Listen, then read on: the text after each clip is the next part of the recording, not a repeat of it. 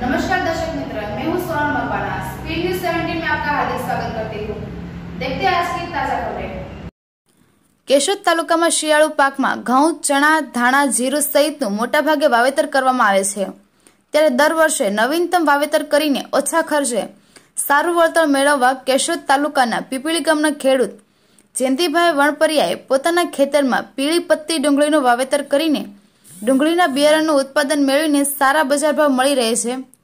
ડિસેમ્બરની શરૂઆતમાં જ ડુંગળીનું વાવેતર કરે છે, જેમાં પાયાના રાસાયણિક ખાતર સાથે બેથી ત્રણ વખત થીપ્સની દવાના છંટકાવ સિવાય અન્ય માવજત કરવાની રહેતી નથી. પણ દર અઠવાડિયે પિયત આપવું પડે છે.